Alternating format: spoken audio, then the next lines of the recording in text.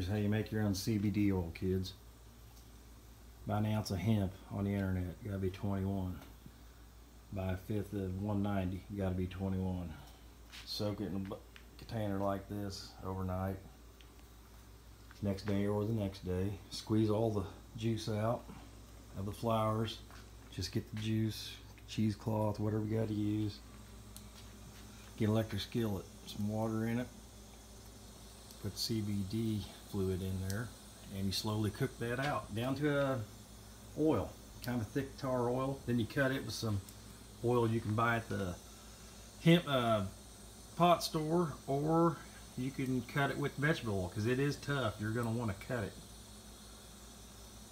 Then you put a dab under your tongue for your damn headache or the damn arthritis.